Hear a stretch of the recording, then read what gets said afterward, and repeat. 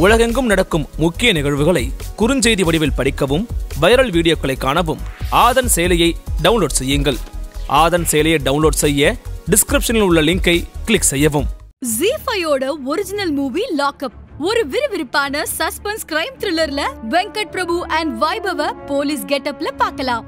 அதோட G five lockup அப்படின்ற special promo கோட யூஸ் பண்ணி ஜி ஃபைவ் பிரீமியம் சப்ஸ்கிரிப்ஷன்ல தேர்ட்டி பர்சன்டேஜ் ஆஃப் பெறுங்க. நாம் பேசியது தவறுன்னு உணர்றீங்களா இப்போவாவது? அதாவது இது இந்த சிறைவாசம் வந்து எனக்கு ஒரு பெருமையை தான் தருது. ஐபிஎஸ் அதிகாரியிலிருந்து சின்ன போலீஸ் வரைக்கும் வந்து என்னை வந்து அவர்கள் நேரில் சந்திக்கும் போதும் என்னை கண்டிச்சாங்க. இப்போ இந்த அஞ்சாயிரம் பேரும் இவனுடைய ஃபோனுக்கு தொடர்ந்து தொல்லை கொடுக்கறது சரி. அவனுடைய மனைவி என்ன தெரிஞ்சுக்கிட்டு அவளுக்கு ஃபோன் பண்ணுறது இப்போ இந்த மாதிரியான மிக கீழ்த்தரமான பண்பாடற்ற இவங்களுக்கு மத்தியில நம்ம பெரியாரையும் பேச முடியாதுன்னு நினைக்கிறீங்க. பேசலாம். நான் கேட்கறது நீங்க பெரியாரையும் பேச போறீங்களா இல்லையா இனிமேல்? கண்டிப்பா பகுத்தறிவு என்பதை பரப்புனால்தான் அதாவது அதே போல இந்து மதத்தை இழிவுபடுத்தியதை நான் வந்து அதற்காக நான் பெருமை கொள்கிறேன் எல்லாம் பல நேரங்களில் பேசியிருக்கீங்க நீங்க. இந்து மதம் என்பது என்னுடைய மதம். என் மதம் என்னை தாழ்த்தவனாக தாழ்ந்தவனாக சொல்லுகிற மதம். பெரியாரிய வழியோ பகுத்தறிவையோ எப்படி கொண்டு வர முடியும்? எந்த பாதையில கொண்டு வர போறீங்க? இ- ஆமா அப்படி செய்ய முடியாது. அப்படி செய்யறதுக்கு உண்டான சூழலை இங்க வந்து மாறிடுச்சு. நான் பரப்பிட்டு இருந்தேன் அதனால எனக்கு சிறைவாசம் கிடைச்சிருச்சுங்க. பரப்ப வேண்டியவர்கள் யாரு? அதை சொல்லுங்க இல்லை இதை பரப்ப வேண்டியவர்கள் வந்து திராவிட கழகம் திமுக. இனி பெரியாரிய கருத்துக்கள் உங்க படத்துல இருக்குமா? சுபவீரபாண்டியனும் குளத்தூர்மணியும் ஆதரவு கொடுத்தாங்க. ஆதரவு அப்படி எடுத்துக்கலாமா? எடுத்துக்கலாம். மோடியை பற்றி உங்கள் பார்வை. மோடி அவர்கள் எனக்கு பிடித்த ஒரு தலைவர். தமிழின் நம்பர் ஒன் அரசியல் யூடியூப் சேனலான ஆதன் தமிழ் நேயர்களுக்கு வணக்கம். கொடிப்பறக்குது நிகழ்ச்சியில் மீண்டும் உங்களை சந்திப்பதில் மிக்க மகிழ்ச்சி. பல்வேறு துறைகளில் ஆகச் சிறந்த ஆளுமைகளை சந்தித்து நாம் நேர்காணல் எடுத்து வருகிறோம். அந்த வகையில் இன்றைக்கு நாம் பார்க்க இருப்பவர் இயக்குனர் வேலு பிரபாகரன் நம்மிடையே இருக்கிறார். அவரிடம் கேட்பதற்கு நிறைய இருக்கின்றன. வாருங்கள் அவரிடமே கேட்போம். வணக்கம் ஐயா. வணக்கம் வணக்கம். எப்படி இருக்கீங்க? நல்லா இருக்கேன். இந்து மதத்தையும் இந்து உணர்வாளர்களுடைய மனதை நீங்கள் புண்படுத்தி விட்டதாக உங்களை வந்து சமீபத்தில் கைது செய்தார்கள். கைது செய்து கிட்டத்தட்ட ஒரு ஏழு பத்து நாட்கள் நீங்கள் வந்து சிறைவாசம் இருந்துட்டு வெளியே வந்திருக்கீங்க. நீங்கள் பேசின பல பேட்டிகளை நானும் பார்த்தேன். அது குறித்து என்னோட கூட ஆதன் தமிழுக்காக நீங்கள் ஒரு பேட்டி கொடுத்துருந்தீங்க. முழுமையான இந்து மத எதிர்ப்பு அதே போல் தன்னை மட்டுமே பெரியாரியவாதியாக நீங்கள் வந்து பல நேரம் நான் பேசும்போதே த உங்களை வந்து ஒரு நவீன பெரியாராக காட்டிக்க விருப்பப்படுறீங்களா? அதே போல் நான் மட்டும்தான் பெரியாரவாதி பெரியாரியவாதி அப்படின்னெல்லாம் நீங்கள் எங்களுடைய நேர்காணல்லே சொல்லியிருக்கீங்க. இந்த சிறைவாசத்துக்கு பிறகு என்ன மனநிலையில் இருக்கீங்க நீங்கள் அதே போல் இந்து மதத்தை இழிவுபடுத்தியதை நான் வந்து அதற்காக நான் பெருமை கொள்கிறேன்னெல்லாம் பல நேரங்களில் பேசியிருக்கீங்க நீங்கள் இப்போ என்ன மனநிலையில் இருக்கீங்க? அதாவது பொதுவாக நான் வந்து இந்து மதத்தை மட்டுமே நான் வந்து தாக்குறேன் அப்படிங்கிறது மிகப்பெரிய ஒரு தவறான ஒரு கொள்கை. அதாவது நான் வந்து அடிக்கடி சொல்கிறேன் நான் ஒரு நவீன மனிதன். நவீன மனிதனுக்கு சாதி தேவையில்லை மதம் தேவையில்லை கடவுள் தேவையில்லை இனம் தேவையில்லை. இதையெல்லாம் மனிதனை பிரிக்கிற ஒரு விஷயம். இன்றைக்கி வந்து எந்த மனிதனையும் நாம் பிரிக்காமல் நாம் எல்லாரும் ஒன்றிணையறதுக்கு இனம் மொழி மதம் சாதி எல்லாவற்றையும் கடக்கணும். கடந்தால் தான் இந்த நவீன காலத்தில் நாம் இணைய முடியும் அப்படிங்கிறதுக்காக இந்த ரெண்டாயிரம் மூணாயிரம் வருஷங்களுக்கு முன்பு கண்டுபிடிக்கப்பட்ட இந்த மதங்கள் எல்லாம் இன்றைய நவீன மனிதனுக்கு அவன் ஒன்று சேர்வதற்கு தடை. அதனால் அந்த கடவுளோ இல்லை மதமோ சாதியோ இன்றைக்கி தேவையில்லை அப்படிங்கிற ஒரு கருத்தை தான் நான் தொடர்ந்து வலியுறுத்துகிறேன் அது வந்து நான் இந்து மதத்தில் இருக்கிறதுனாலையும் இந்து மதம் பல சாதி அடுக்குகளை வேற்றுமைகளை உயர்ந்தவன் தாழ்ந்தவன் அப்படின்னு இன்றைய நவீன காலத்தில் இருக்கிறத நான் எதிர்க்கிறேன். ஆமா. நீங்க எந்த இடத்துலயும் இஸ்லாத்தையோ அதே போல கிறிஸ்துவத்தையோ நீங்க பேசினதா இல்லையே விமர்சனம் பண்ணதாவோ அதுல இருக்கிற உள்ளார்ந்த விஷயங்கள் அதுல இருக்கிற பிரச்சனைகள் எல்லாம் எடுத்து விவாதம் பண்ணி நீங்க பேசல. குறிப்பா இந்து மதத்தை தான் விமர்சனம் பண்ணி இல்லை இந்து மதம் என்பது என்னுடைய மதம். என் மதம் என்னை தாழ்த்தவனாக தாழ்ந்தவனாக சொல்லுகிற மதம். பெரியார் அதான் சொன்னாரு. ஆ. என் முதல்ல நான் என் மதத்துல இருக்கிற பிரச்சனையை நான் பேசுறேன். என் மதம். ஆ. நான் வந்து இன்னும் கூட ரொம்ப தெளிவா நான் வந்து கிறித்துவமும் இஸ்லாமும் அந்த கிறித்துவ கடவுளும் இஸ்லாமிய கடவுள் எல்லாமே பழைய ஏற்பாடுகள். அதெல்லாம் ரெண்டாயிரம் வருஷத்துக்கு முன்னாடி இருந்த மனிதனின் கண்டுபிடிப்பு இன்றைய நவீன மனிதனுக்கு எப்படி உதவும்? அது வந்து மிகப்பெரிய தடையாக இருக்கும். மதங்கள் என்பது வந்து இஸ்லாம் வந்து ஒரு இடத்துல உருவானது. ஒரு கிறித்துவம் ஒரு இடத்துல உருவானது. இந்து மதம் ஒரு இடத்துல உருவானது. அந் அன்னைக்கு வந்து இந்த மதங்களுடைய மனிதர்கள்லாம் ஒன்றா இணைவாங்க. அப்படிங்கிற ஒரு கற்பனை கூட இருந்திருக்காது. ஆனால் உலகம் மிக சிறியதாக மாறிவிட்ட பின்பு எல்லா மதக்காரர்களும் ஒன்றாக இணைந்து வாழ்கிற போது இந்த மதங்கள் வந்து வேற்றுமையைத்தான் போதிக்கும்.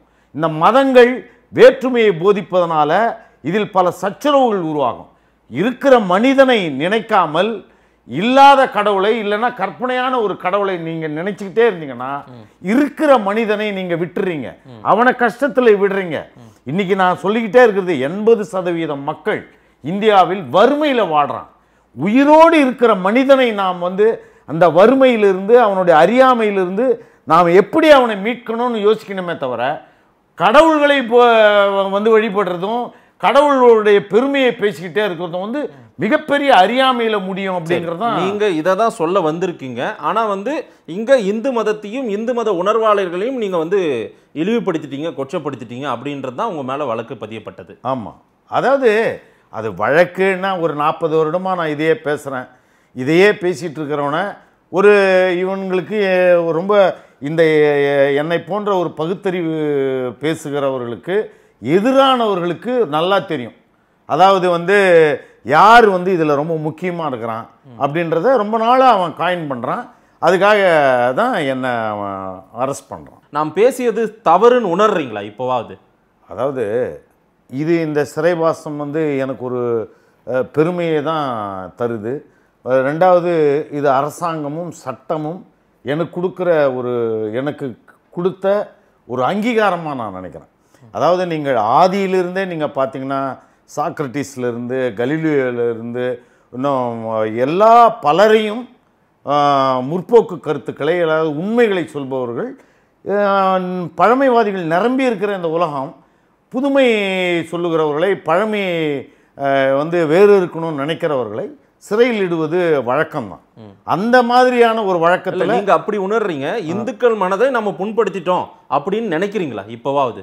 அதாவது இதில் ஒரு விஷயம் நான் என்ன உணர்ந்தேன்னா ஐபிஎஸ் அதிகாரியிலிருந்து சின்ன போலீஸ் வரைக்கும் வந்து என்னை வந்து அவர்கள் நேரில் சந்திக்கும் போதும் என்னை கண்டிச்சாங்க. நீங்கள் இப்படி பேசலாமா? உங்களுக்கு வாய் இருந்தால் எதனா பேசிடலாமா? அப்படின்னுட்டு. இப்போ ஒரு ஆயிரம் மனிதர்களை நான் இந்த இந்த சிறைவாசத்தில் சந்திக்கும்போது அந்த ஆயிரம் மனிதர்களில் ஒரே ஒரு மனிதன் தான் இதை வந்து நீங்கள் பேசுனது ஓரளவுக்கு சரியாக இருக்குது அப்படின்னு. அப்போ எனக்கு என்ன புரிஞ்சுதுன்னா இன்னும் வந்து இவர்களுக்கு புரிகிற மாதிரி நம்ம பேசலையோ? இல்லைன்னா ஒருவேளை இவர்களுடைய உண்மையாகவே இவர்கள் நம்புகிற ஒரு கடவுளை இவர்கள் நம்புகிற ஒரு பழமைகளை நான் வந்து சொன்னது இவர்களுக்கு புண்பட்டு தான் இருக்குது. இந்த புண்படுதல் இல்லாமல் இவர்களுக்கு எப்படி தெளிவாக்குறது அப்படிங்கிற ஒரு கருத்துல வேணுமா நான் வந்தேன்னு சொல்லலாம். இல்ல அது ஒரு வருமானம் அது ஒரு ஒரு வகையான வருத்தம்னு சொல்லாதீங்க. வருத்தம். வருத்தம் இருக்கா இல்லையா? வருத்தம் இருக்கு. அதாவது இந்துக்கள் மனதை நான் புண்படுத்திட்டேன். புண்படுத்தி இருக்கிறேன் அப்படிங்கிறது நான் சந்தித்த ஐபிஎஸ் அதிகாரிகள்லேருந்து எல்லாரையுமே நான் சந்திக்கும்போது அவர்கள் எல்லோருமே வந்து ஐயா நீங்கள் இப்படி பேசக்கூடாதுயா எங்கள் மனசு ரொம்ப கஷ்டப்படுதுயா அப்படின்னு அவங்க சொல்கிறாங்க சொல்லும்போது நான் வந்து அவர்களுக்கு புண்படாமல் எப்படி இதை சொல்வது அப்படிங்கிற வேணுமோ அந்த மாதிரி ஒரு மறுநோக்கத்தில் நான் அதை ஆராய்ந்துட்டு இருக்கேன். சரி ஓகே. புண்படாமல் பெரியாரிசத்தை தொடர்ந்து பேச போறீங்களா எப்படி நீங்க? அதாவது நான் வந்து எந்த கட்சியிலையும் நான் ஒரு கலைஞன். இந்த கலைஞன் என்பவன் அப்படிங்கிறது காலங்காலமாக ஒரு உண்மையான கலைஞன் என்பவன் இந்த சமூகத்தில் இருக்கிற கேடுகளை இந்த சமூகத்திற்கு முன்னேற்ற கருத்துக்களை எடுத்து சொல்பவனாகத்தான் ஒரு சிறந்த கலைஞன் இருந்திருக்கிறான் அப்படிப்பட்ட ஒரு பாதையில தான் இயற்கையாகவே ஒரு கலைஞனுக்கு இருக்கிற ஒரு அறிவு தான். நான் கேட்கறது நீங்க பெரியாரையும் பேச போறீங்களா இல்லையா இனிமேல்? கண்டிப்பா பகுத்தறிவு என்பதை பரப்புனால்தான் அதாவது நாட்டு மேல பக்தி இருக்குது நாட்டு மேல அன்பு இருக்குது அப்படின்னா சுதந்திர தினத்துக்கு கொடி குத்திக்கிறதோ இல்லைன்னா ஜனகணமன பாடும்போது எழுந்து நிற்கிறதோ அப்படி என்றது அல்ல. என் நாட்டின் இழிவை போக்கணும்னு நினைக்கிறது. சரி. என் நாட்டு சகோதரர்களுடைய ஏழ்மையை போக்கணும் அப்படின்றது. அந்த அதை இழிவையும் அவர்களுடைய ஏழ்மையும் இல்ல, போக்கணும்னா இது வரைக்கும் நான் பேசினது நான் செய்ததை இன்னும் நாசுக்கா ரொம்ப பொறுமையா செய்வேன் ரொம்ப பதமா செய்வேன் அதை வந்து ரொம்ப அழுத்தமா போய் செய்ய மாட்டேன்னு சொல்ல வரீங்க. சரியா? இல்ல அது அழுத்தமா தான் செய்வேன். இல்ல இது வரைக்கும் ஒரு காட்டமான வார்த்தைகள்லாம் நீங்க பதிவு பண்ணியிருக்கீங்க. இந்து மதத்தையும் கடவுள் இல்லைன்னு சொல்றத வந்து நான் இப்படி சொன்னாதான் அது போய் சேரும் அப்படின்னு நீங்க சொல்றீங்க. லட்சக்கணக்கானோர் ஒரு கோயில்ல உட்காந்துருக்காங்க பகல்ல. எதுக்கு போய் ஒரு நாள் பூரா உட்காந்துட்டு இருக்கணும்னு நீங்க கேட்டீங்க. இப்ப அது சரியா தவறான்னு நீங்க உணர்றீங்களா? போய் இருக்காங்கல்ல அவங்களுக்கு எப்படி நீங்க இப்ப- இப்போ வந்து நீங்க பெரியாரிசத்திலேயோ பெரியாரிய வழியோ பகுத்தறிவையோ எப்படி கொண்டு வர முடியும்? எந்த பாதையில கொண்டு வர போறீங்க? நான் முதல்ல மீண்டும் சொல்லுகிறேன்.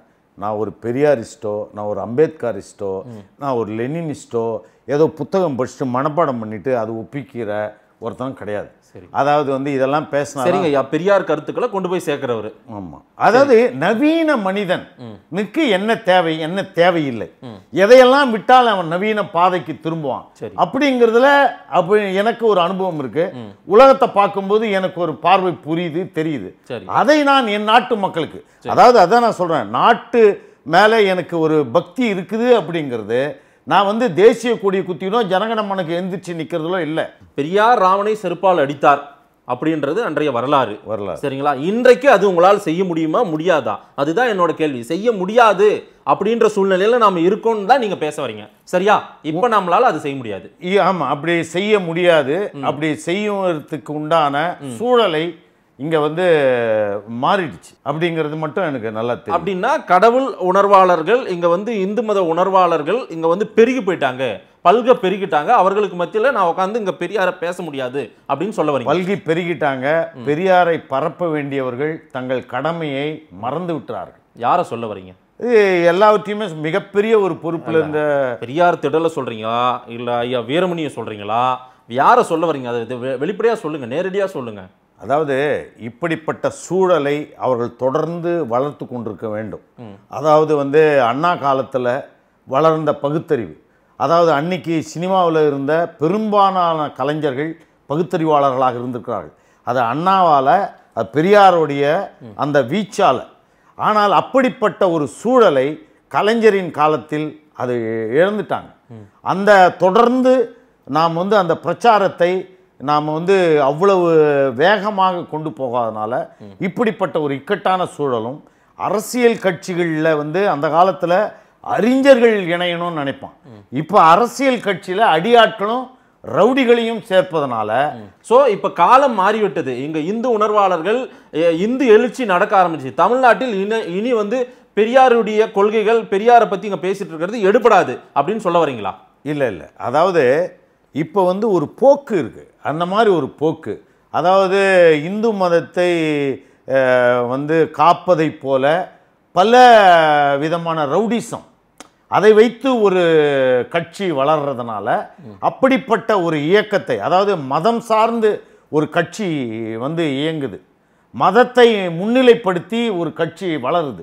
மதத்தை வளர்க்கிற மாதிரியும் மதத்தை அப்போ யாரெல்லாம் மதத்தை எதிர்க்கிறானோ மதத்தை குறை சொல்கிறானோ அவனை கைது செய்வதன் மூலமாக அவனை தாக்குவதன் மூலமாக நாம் மதத்தை காப்பாற்றுகிறோம் அப்படிங்கிற ஒரு பிம்பத்தை இவர்கள் உருவாக்க நினைக்கிறார்கள். சரி பிம்பத்தை உருவாக்குறாங்க. இனிமேல் நான் மதத்தை அப்போ வந்து விமர்சனம் பண்ண மாட்டேன். மதத்தை பற்றி ரொம்ப இழிவா பேச மாட்டேன் அப்படின்னு உணர்ந்துட்டீங்க. சரியா? இல்ல, அப்படிப்பட்ட ஒரு சூழலை உடனே இவர்கள் நசுக்கி விடுவார்கள் அப்படிங்கிறதே மட்டும் எனக்கு இல்ல நீங்க என்ன மனநிலையில இருக்கீங்க? அவங்க நசுக்குறாங்க. நான் வந்து- நீங்க இல்ல, நசுக்கப்பட்டவரா ஆயிட்டீங்களா? இல்லை நான் வந்து தொடர்ந்து பகுத்தறிவை தொடர்ந்து பெரியாரை தொடர்ந்து அவருடைய கருத்துக்களை எப்படி பரப்பணும்? எப்படி பருப்பு எந்த மாதிரியான? ஒரு சூழலை அதுக்கு எடுத்துக்கணும்.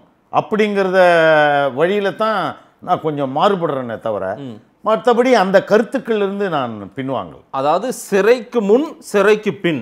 சிறைக்கு முன் ஒரு வழியில பயணித்தீங்க திரு. வேலு பிரபாகரன் சிறைக்கு போய் வந்ததுக்கு பின்னாடி நீங்க இப்ப பெரியார வேற வழியில கொண்டு போய் சேர்க்க போறீங்க. இல்லை சிறைக்கு போனது வந்து அது என்னுடைய அடையாளமாக நான் எடுத்துக்கிறேன். ஆனால் இந்த ரவுடிகளும் நான் வந்து ஒரு தனி மனிதன். என்ன? இந்த ரவுடிசமும் இந்த அரசியல் ஓட்டு பொறுக்கிகளும் எல்லாரும் ஒன்றாக இணைந்திருக்கிறார்கள். என்றாக இணைந்து இப்படிப்பட்ட ஒரு கருத்துக்களை வந்து அதாவது பரவுறத அவனே எவன் பரப்பணுமோ அவனே இதை பரவாமல் இருக்கிறதுக்கு உண்டான நானும் பரப்புவேன். நான் பரப்பிட்டு இருந்தேன் அதனால எனக்கு சிறைவாசம் கிடைச்சிருச்சுங்க. பரப்ப வேண்டியவர்கள் யாரு? அதை சொல்லுங்க நீங்க. இல்லை இதை பரப்ப வேண்டியவர்கள் வந்து திராவிட கழகம் திமுக. என்ன? ஆனால் அவர்கள் ம- அவர்களும் இந்த ஓட்டுக்கு இந்த ஓட்டுகள் சிதறிடுமோ இந்துக்கள் ஓட்டு நமக்கு கிடைக்காதோ அப்படின்னு பின்வாங்கி கொண்டிருக்கிற ஒரு சூழல் இது. அந்த சூழலுக்கு ஏற்ற மாதிரி தான் நம்ம செயல்பட வேண்டியது. உங்களுடைய படங்கள்ல பெரியாரியும் நீங்க பேசுவீங்க. பெரியாரிய கருத்துக்களை கொண்டு போயிட்டு இருந்தீங்க. இதுவரையில ரெண்டு மூன்று படங்கள் அப்படிதான் கொண்டு வந்தீங்க. இனி பெரியாரிய கருத்துக்கள் உங்க படத்துல இருக்குமா? நான் ஒரு கலைஞனாக அந்த கருத்துக்கள் தான் பகுத்தறிவு கருத்துக்கள் தான் இந்த மக்களுக்கு கொண்டு போய் சேர்க்கணும் அப்படிங்கிறதுல ரொம்ப காலமாக உறுதியாக இருக்கிறேன். அதனால் என்னுடைய திரைப்படங்கள் பெரியாரின் கருத்துக்களை நவீன மனிதனுக்கு தேவையான கருத்துக்களை தான் தொடர்ந்து பேசும். இல்ல பெரியார் அந்த காலங்கள்ல பேசியதை இப்போ வந்து உங்களுடைய படங்கள்ல வைக்க முடியுமா? வைக்கிறேன். நான் தொடர்ந்து அதை தான் வைக்கிறேன். அது நிச்சயமாக அதுக்கு அது அதை மட்டுமே என்னுடைய பணியாக கருப்பர் கூட்டத்துக்கு ஆதரவா நீங்க செயல்பட்டதா சொல்றாங்க. இப்பவும் அந்த கருப்பர் கூட்டம் செய்தது சரின்னு உணர்றீங்களா? அதாவது இந்த சூழலை இப்போ வந்து நாம் வந்து புரிந்து கொள்வதற்கு கொஞ்சம் ஆஹ், தாமதம் ஆயிடுச்சுன்னு நான் நினைக்கிறேன். அதாவது இது மிக மோசமான ஒரு சூழல் இருக்கும் அதாவது நீங்கள் வந்து கடவுள் பக்தி அதிகமாயிடுச்சு. பக்தி அதிகமானதோ இல்லைன்னா அதிகமான மாதிரி ஒரு ரவுடி கூட்டத்தை ஒருத்தருங்க சில பேருங்க வச்சுக்கிட்டு ஒரே ஒருத்தன் பேரில் வந்து பத்து நூறு ஃபோன் ஐடி வச்சுக்கிறான். அவன் வந்து வந்து இப்படிப்பட்ட யாருன்னா பேசுனாங்கன்னா அவனுங்களுக்கு ஒரு இது மாதிரி ஒரு ஆயிரம் பேரை பத்த அஞ்சாயிரம் பேரை வச்சுருக்கானுங்க. இப்போ இந்த அஞ்சாயிரம் பேரும் இவனுடைய ஃபோனுக்கு தொடர்ந்து தொல்லை கொடுக்கறது சரி. அவனுடைய மனைவி என்ன தெரிஞ்சுக்கிட்டு அவளுக்கு ஃபோன் பண்ணுறது இப்போ இந்த மாதிரியான மிக கீழ்த்தரமான பண்பாடற்ற. இவங்களுக்கு மத்தியில நம்ம பெரியாரையும் பேச முடியாதுன்னு நினைக்கிறீங்க. பேசலாம். ஆனால் அது எப்படி பேசணும் அப்படிங்கிறத ஒரு வைக்கணும். ஒரு ஆய்வு செய்யணும்ன்றீங்க ஒரு ஆய்வில் இருக்குது. நிச்சயமா அந்த ஆய்வை தாண்டித்தான் இப்போ அதாவது எதிரி இவ்வளவு மோசமா வளர்ந்துருக்கான். அப்ப நான் வந்து தாக்குறது தான் என்னுடைய ஒரே எண்ணம். இவனை தாக்கித்தான் நான் தீருவேன். ஆனால் அதை எப்படி நான் அந்த தாக்குதலுக்கு உண்டான திட்டத்தை நான் வரையறுக்க வேண்டிய தாக்குதலுக்கு உண்டான திட்டத்தையே நான் இனிமேல் தான் வரையறுக்க போறேன் வரையறுத்திருக்கிறேன். இல்ல வரையறுத்திருக்கேன் இல்ல வரையறுக்க போறேன்னு வச்சுக்கிட்டா நீங்க பெரியாரிய கொள்கைகளை இங்க கொண்டு போய் சேர்க்கணும்னு இங்க திரைத்துறைக்கு வந்தவர் தன்னுடைய படத்தின் மூலமா பெரியாரை கொண்டு போய் சேர்க்கணும்னு வந்தவர் கொஞ்சம் பின்வாங்குகிறீர்களோ அப்படின்ற ஒரு சந்தேகம் வந்திருக்குது இப்போ. இனி நாம நாம ஏன் பெரியாரை பேசணும் அப்படின்ற எண்ணத்துக்கு வேலு பிரபாகரன் வந்துட்டீங்களோ? இல்லை நிச்சயமா. அதாவது நாம் ஒரு முறை தான் பிறக்கிறேன் ஒரு முறை தான் வாழ்கிறேன் அப்படிங்கிறதுல நான் தெளிவாக இருக்கிறேன். அந்த ஒரு முறை பிறக்கும்போது நான் எதை செய்யணும்? எதை வந்து வலியுறுத்தணும்? எதை என் மக்களுக்கு போதிக்கணும்? அப்படிங்கிறது தான் அதாவது என் மக்களுடைய ஏழ்மை என் மக்களுடைய அறியாமை அது வந்து என்னை பெரிதாக வந்து பாதிக்குது. மற்றபடி நான் வந்து பெரியாரை தூக்கி நிறுத்தணும் அப்படிங்கிறது எனக்கு அந்த அவசியம் இல்லை. ஆனால் என் மக்களை மேன்மைப்படுத்துறதுக்கு எது ஆயுதமாக இருக்குதோ அந்த ஆயுதத்தை தானே நான் சரி செய்யணும். பெரியாரிய கருத்துக்களை நான் கொண்டு போய் சேர்க்கிற நேரத்துல ஒரு குறிப்பிட்ட கூட்டம் ஒரே பேர்ல ஆயிரம் ஐடியா கூட வச்சுக்கிட்டு என்னை வந்து கடுமையா விமர்சனம் பண்றாங்க. என்னுடைய என்னுடைய குடும்பத்தையும் தனிநபர் தாக்குதலையும் என்னுடைய துணைவியாரை விமர்சிக்கிறாங்க அப்படின்னு நீங்க சொல்ல வரீங்க. அவர்களுக்கு மத்தியில் இனி உங்களால் களம் காண முடியுமா? நிச்சயமா களம் பண்ண முடியும். அது மட்டுமே தானே நம்முடைய வாழ்க்கையா நம்ம இருக்கிறோம். அது எதிர்கொள்ள முடியலன்றதுனால தான் நான் ஆய்வு செய்யறேன். அதுலயும் சில சாஃப்ட் டோன் எடுத்தாகணும் அப்படின்ற மாதிரி சொல்ல வரீங்க. இல்ல இல்ல. சாப்பிட்டோம்னா அதை எப்படி தீர்க்கமாக அதை எப்படி இந்த மக்களுக்கு ரொம்ப வலிமையா கொண்டு போய் சேர்க்கிறது? சரி. அதாவது அது நடுவுல தடைப்படாம அப்படிங்கிறதுல நாம வந்து ஒரு ஆய்வு செய்ய வேண்டியது தானே இருக்கு. அப்ப இதுக்கு முன்னாடி நீங்க சரியா செய்யலையோ? பெரியாரை சரியா கொண்டு போய் சேர்க்கலையோ? அதாவது ரெண்டு அர்த்தம் இருக்கு. நீங்க ஒருவேளை நான் இனிமேல் தீவிரமாக கூட கொண்டு போகலாம் அதாவது இது வரைக்கும் தீவிரம் இல்லாம கூட இருக்கலாம். இல்ல இது வரைக்கும் தீவிரமா பேசின வேலு பிரபாகரன் இன்னே இன்றைய பேட்டியில தீவிரமா பேசலையே. அப்படின்னா நீங்க பின்வாங்குறீங்களோன்ற ஒரு சந்தேகம் வருதுல்ல இல்ல? இல்ல மிக நேர்த்தியான அதாவது மிக பலமிக்க ஒரு திட்டங்களை தான் நான் போட்டுக்கிட்டு இருக்கேன். சரி. ஆனால் அது எப்படி மொத்த ஒட்டுமொத்த இளைஞர்களை எப்படி ஈர்க்கிறது? ஒட்டுமொத்த இளைஞர்களுக்கு எப்படி இது கொண்டு போய் சேர்க்கறது? அப்படிங்கிற ஒரு பார்வையில் தான் நான் அந்த திட்டம்னு நான் சொல்கிறேன் இப்போ இங்கே திராவிடர் கழகத்தில் இருந்தோ அல்லது வந்து பெரியாரை நேசிக்கக்கூடியவர்கள் யாரேனும் உங்களோடு பேசினார்களா? உங்களுக்கு ஆதரவு தெரிவிச்சாங்களா? நான் சிறையில் இருக்கும்போது நம்ம உதவியாளர் தினேஷோட அஹ், ஒரு அண்ணன் சுபவி அவர்கள் பேசியிருக்காரு. குளத்தூர் மணி அண்ணன் பேசியிருக்காரு. ஏதாவது அஹ், வழக்குல இருந்து எப்படி வெளியே வர்றாரு எப்படி என்ன? அதாவது உங்களுக்கு சுபவீரபாண்டியனும் குளத்தூர் மணியும் ஆதரவு கொடுத்தாங்க. ஆதரவு கொடுத்து அப்படி எடுத்துக்கலாமா? எடுத்துக்கலாம். ம். மோடியை பற்றி உங்கள் பார்வை? நான் வந்து இப்போ இல்லை இதே ஆதன் டிவிலேருந்து ரொம்ப நாளாக சொல்லிக்கிட்டே இருக்கேன். மோடி அவர்கள் எனக்கு பிடித்த ஒரு தலைவர். எப்படின்னா வாஜ்பாய் எப்படி எனக்கு வாஜ்பாயை வந்து மிகப்பெரிய தலைவனாக மிகப்பெரிய ஒரு கருத்தாளனாக எனக்கு பிடிக்குமோ அதே மாதிரியான ஒரு மனநிலையில் தான் நான் மோடி அவர்களை வைத்திருந்தேன். அதாவது நான் வந்து ஒரு பிரம்மச்சாரி அதாவது ஒரு குடும்பம் இல்லாத ஒரு மனிதன் தான் இந்த நாட்டுக்கு தலைவனாக இருக்க முடியும். ஏன்னா இந்த நாட்டுடைய மரபு அணுவில் குடும்பம் இருந்தாவே சுயநலவாதியாக மாறிடுவீங்க. நீங்கள் எவ்வளோ பெரிய பகுத்தறிவாளனாக இருந்தாலும் அது கலைஞரே ஒரு பெரிய உதாரணமாயிட்டார். ஆனால் குடும்பம் இருந்தாலே அவன் வந்து அந்த பகுத்தறிவை விட்டுருவான் சுயநலம் தன்னுடைய பிள்ளை தன் குடும்பம்னு இறங்கிடுவான். அப்படிப்பட்ட ஒரு சூழல் இருக்கிற இந்த நாட்டில் ஒரு பிள்ளை இல்லாத திருமணமாகாத இல்லைன்னா திருமணமாகி மனைவியோ கு- குழந்தைகளோ இல்லாத தன்னுடைய ஒரு அதாவது பதவியேற்பு நிகழ்ச்சி கூட தன்னுடைய குடும்பம் கூட தன்னுடைய பதவியேற்பு விழாவில் யாருமே தன்னுடைய அண்ணனோ தம்பியோ தாயோ பங்கேற்கக்கூடாது அப்படிங்கிற ஒரு மேன்மையான குணங்களை எல்லாம் நான் பார்த்தேன். இப்போ வந்து அதே மாதிரி த்ரீ செவன்ட்டி எடுத்தது எனக்கு ரொம்ப பிடிச்சது. அதே மாதிரி இந்த பண பரிவர்த்தனையில் அவர் செஞ்சதும் நான் மதிப்பிழப்பு. ஆ- ஆதரிச்சு ஆதரிச்சிருக்கிறேன். ரெண்டாவது இன்னொரு முக்கியமான விஷயம் மோடி அவர்களால் தான் இந்த நாட்டுடைய பண பட்டுவாடா வந்து த்ரூ பேங்க் அதிகமாக போயிருக்குது. இல்லைன்னா சும்மா அவன் பேக்கெட்டில் வச்சு போனதை விட அதுக்கப்புறம் தான் பேங்க் அக்கௌண்ட்டோ கார்டோ அதெல்லாம் இப்படிப்பட்ட ஒரு அடுத்தடுத்த கட்ட விஷயங்கள நான் அவரை வந்து பணவீக்கம் எல்லாம் இல்ல பெரிய ஏற்றம் இந்தியாவுக்கு ஏற்றம் வந்திருக்கு மோடியாலன்றீங்களா எப்படி? இல்லை பண பரிவர்த்தனை வந்து த்ரூ பேங்க் நடக்கும்போது சரி. அது வந்து அது அது ஒரு கட்டுக்கோப்பில். டிஜிட்டல் இந்தியா அது ஒரு கட்டுக்கோப்பில் அந்த பண பரிவர்த்தனை ஒரு கட்டுக்கோப்பில் வரும். இதையெல்லாம் நான் ஆதரிக்கிறேன். ஆனால் அவர் இங்கே ஒரு மிகப்பெரிய ஒரு ஸ்டாண்ட் எடுக்கணும். சாதிகளை ஒழிக்கணும். என்ன? ஏற்றத்தா ஏழ்மையை ஒழிக்கணும்.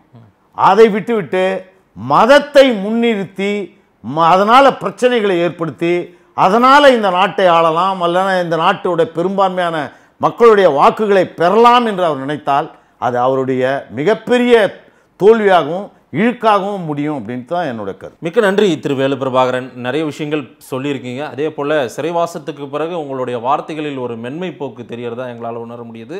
ஆனால் நான் பெரியாரிய கருத்துக்களை தொடர்ந்து பேசி கொண்டு தான் இருப்பேன். என்னுடைய சினிமா படங்களில் வந்து அதை சொல்லிட்டே தான் இருப்பேன். கொண்டு போய் சேர்ப்பேன் அப்படின்னு சொல்லியிருக்கீங்க. இதை மக்கள்கிட்ட கொண்டு போய் கொடுப்போம். அவங்க என்ன சொல்கிறாங்கன்னு பார்க்கலாம். நம்முடைய அரங்குக்கு வந்து பேசியமைக்கு நன்றி திரு வேலு பிரபாகரன் நன்றி நன்றி நேர்களே. மீண்டும் ஒரு குடிப்பறக்கத்து நிகழ்ச்சியில் சந்திப்போம். நன்றி வணக்கம்.